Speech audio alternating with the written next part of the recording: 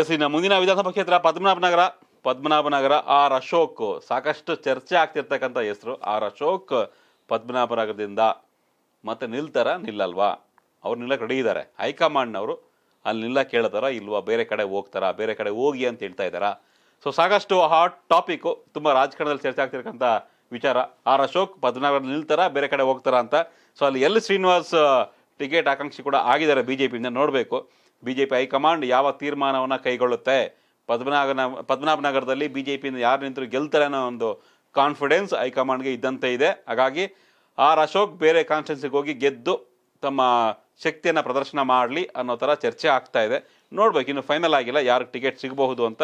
ಅಶೋಕ್ ಜೊತೆಗೆ ಎಲ್ ಶ್ರೀನಿವಾಸ್, ಇನ್ನು ಕಾಂಗ್ರೆಸ್ನಲ್ಲೂ ಕೂಡ ಸಂಜಯ್ ಗೌಡ, ರಘುನಾಥ್ ನಾಯ್ಡು, ಸೊ ಹೆಸರು ಕೇಳಿ ಬರ್ತಾ ಇದೆ. ಸಾಕಷ್ಟು ಆಕಾಂಕ್ಷಿಗಳಿದ್ದಾರೆ. ನೋಡ್ಬೇಕು ಯಾರು ಟಿಕೆಟ್ ಸಿಗುತ್ತೆ ಅಂತ ಕಾಂಗ್ರೆಸ್ನಿಂದ ಅಲ್ಲಿ ಅಂತ.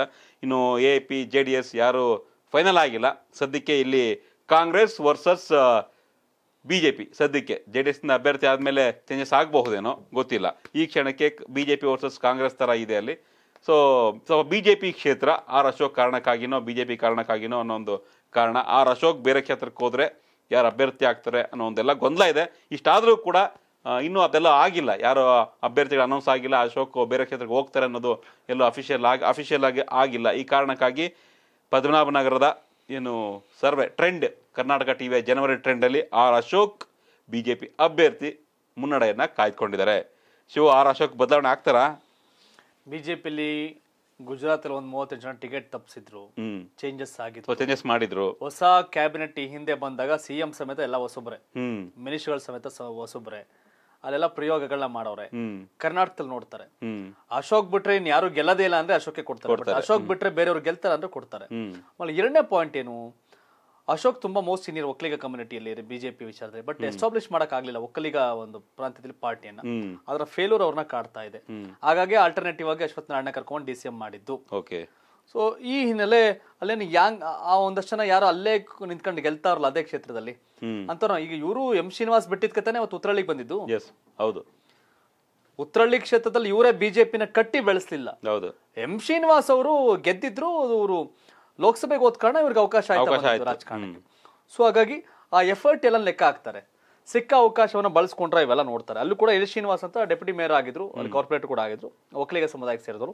ಅವರ ಹೆಸರು ಕೂಡ ಚಾಲ್ತಿಯಲ್ಲಿದೆ. ಅಂಡ್ ಕಾಂಗ್ರೆಸ್ಸಿಂದ ಸಂಜಯ್ ಗೌಡ ಹಾಗೆ ರಘುನಾಥ್ ನಾಯ್ಡು. ಹೆಸರು ಚರ್ಚೆಲ್ಲ ಸಂಜಯ್ ಗೌಡ ಎಲ್ಲರನ್ನು ಕ್ಯಾಚ್ ಹಾಕೊಂಡು ಅಂದ್ರೆ ಎಲ್ಲರನ್ನೂ ವಿಶ್ವಾಸಕ್ಕೆ ತೆಗೆದುಕೊಂಡು ಸಿನಿಮಾ ರಂಗ ಮತ್ತೆ ಬಿಸ್ನೆಸ್ ಎಲ್ಲಾ ರೀತಿಯಲ್ಲೂ ಕೂಡ ಇದೆ ರಾಜಕಾರಣ ಅವರು and J D S A P ಕೂಡ ಇದಿಲ್ಲ. ಇಲ್ಲಿ ಫೈಟ್ ಬಿಟ್ವೀನ್ ಕಾಂಗ್ರೆಸ್ ಹಾಗೆ ಬಿಜೆಪಿ ನಡುವೆ ಫೈಟು ಆಸ್ ಎ ಪಾರ್ಟಿ ಅಶೋಕನ ಕಾರಣಕ್ಕಲ್ಲ. ಎಸ್ ಬಿಜೆಪಿಯಿಂದ ಅಲ್ಲಿ ಯಾರೋ ಕಾರ್ಪೊರೇಟರ್ ಆಗಿದ್ದ ಆಗಿದ್ದಂತ ಮಾಜಿ ಅವ್ರ ನಿಲ್ಸರು ಕೂಡ ಚುನಾವಣೆ ಸ್ಟ್ರಾಂಗ್ ಆಗಿ ನಡೆಯುತ್ತೆ.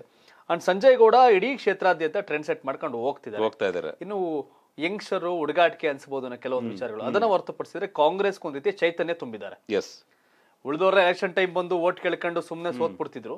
ಬಟ್ ಇದ ಗೆಲ್ಲೇಬೇಕು ಅಂದಿರೋ ಬಂತ ಬಂದಿರೋ ಮನುಷ್ಯ. ಗೆದ್ದೇ ಗೆಲ್ತೀನಿ ಗೆಲ್ಲೇಬೇಕು ಅಂತ ಸಂಜಯ್ ಗೌಡ್ರದ್ದು ಒಂದು ಆಟ. ಅಲ್ಲಿ ಬಿಜೆಪಿ ಲೆಕ್ಕಾಚಾರ ಏನು ಅಂತ ನೋಡಿದ್ರ ಮೇಲೆ ಇವರು ಹಣೆ ಬರ ನಿರ್ಧಾರ ಆಗುತ್ತೆ. ಬಿಜೆಪಿ ಕ್ಯಾಂಡಿಡೇಟ್ ಅನೌನ್ಸ್ ಆಗಬೇಕು ಕಾಂಗ್ರೆಸ್ ಕ್ಯಾಂಡಿಡೇಟ್ ಅನೌನ್ಸ್ ಆಗಬೇಕು. ಅದಾದ್ಮೇಲೆ ಪದ್ಮನಾಭ ನಗರದ ಚಿತ್ರಣ ಗೊತ್ತಾಗುತ್ತೆ. ಗೊತ್ತಾಗುತ್ತೆ. ಪದ್ಮನಾಭ ನಗರದ ಪವರ್ಫುಲ್ ಮ್ಯಾನ್ ಯಾರು ಮುಂದಿನ ಎಂ ಎಲ್ ಎ ಯಾರು ಅಂತ ಬಿಜೆಪಿ ಕ್ಯಾಂಡಿಡೇಟ್ ಅನೌನ್ಸ್ ಆದ್ಮೇಲೆ ಕಾಂಗ್ರೆಸ್ ಕ್ಯಾಂಡಿಡೇಟ್ ಅನೌನ್ಸ್ ಆದ್ಮೇಲೆ ಗೊತ್ತಾಗುತ್ತೆ. ಜೆಡಿಎಸ್ ಆಪ್ ಇಲ್ಲಿ ಇಲ್ಲ. ಯಾಕಂದ್ರೆ ಕಳೆದ ಬಾರಿ ಜೆಡಿಎಸ್ ರನ್ನರ್ ಅಪ್ ಆಗಿತ್ತು. ಆದ್ರೆ ಜೆಡಿಎಸ್ ತನಗೆ ಸಿಕ್ಕ ಅವಕಾಶಗಳನ್ನ ಸರಿಯಾಗಿ ಬಳಸ್ಕೊಳ್ಳಿಲ್ಲ ಉತ್ತರ ಕರ್ನಾಟಕ ಪಾರ್ಟಿ ಕಟ್ತಿಲ್ಲ ಬಿಡಿ. ಇಲ್ಲಿ ಸೆಕೆಂಡ್ ಪ್ಲೇಸ್ ಇತ್ತು. ಯಲಹಂಕ ಸೆಕೆಂಡ್ ಪ್ಲೇಸ್ ಇತ್ತು. ಬ್ಯಾಟ್ರಾಯಪುರ ಟೂ ತೌಸಂಡ್ ಏಟ್ ನಲವತ್ತು ಲಕ್ಷ ಸಾವಿರ ಓಟ್ ಬಂದಿತ್ತು. ಪಾರ್ಟಿ ಕಟ್ಲಿಲ್ಲ. ಶಕ್ತಿ ತುಂಬಬೇಕಿತ್ತಾಗ ಅದು ಅವರವರ ನಾಯಕರ ವೈಫಲ್ಯದಿಂದ ಜೆ ಡಿ ಎಸ್ ಬೆಂಗಳೂರಲ್ಲಿ ಹಾಳಾಗಿದೆ ಅನ್ನೋದು ಬಿಟ್ರೆ ಹ್ಮ್. ಬೇರೆ ಕಾರಣ ಅಲ್ಲ. ಎಸ್ ಬಟ್ ಈಗ ಕಾಂಗ್ರೆಸ್ ವರ್ಸಸ್ ಬಿಜೆಪಿ ನಡುವಿನ ಹಣಾಹಣಿಯಲ್ಲಿ ಪದ್ಮನಾಭನಗರದಲ್ಲಿ ಬಿಜೆಪಿ ಮುನ್ನಡೆಯನ್ನ ಕಾಯ್ದುಕೊಂಡಿದೆ. ಎಸ್ ನಾವು ಈ ಜೀನಿ ಪ್ರಾಡಕ್ಟ್ನ ಎರಡು ವರ್ಷದಿಂದ ಉಪಯೋಗಿಸ್ತಾ ಇದ್ದೀವಿ. ದಿನ ಬೆಳಗ್ಗೆ ಫಸ್ಟ್ ಕುಡಿಯೋದೇ ಅದನ್ನು ನಾವು. ಸರ್, ತುಂಬ ಒಳ್ಳೆ ಪ್ರಾಡಕ್ಟು, ಬಟ್ ನಮ್ಮ ದೇಶಿ ಪ್ರಾಡಕ್ಟು ಅದರಿಂದ ದಯವಿಟ್ಟು ತೊಗೊಂಡು ಎಲ್ಲರೂ ಇದನ್ನು ಉಪಯೋಗಿಸ್ಲಿ ಅಂತ ನನ್ನ ಆಸೆ. ನಮ್ಮ ರೈತರಿಗೋಸ್ಕರ ಆದರೂ ತೊಗೊಂಡು ನೀವು ಮಾಡಬೇಕು, ಇದನ್ನು ತಿನ್ಬೇಕು ಎಲ್ಲರೂ ಉಪಯೋಗಿಸ್ಬೇಕು ಅಂತ ನಾನು ಕೇಳ್ಕೊತೀನಿ.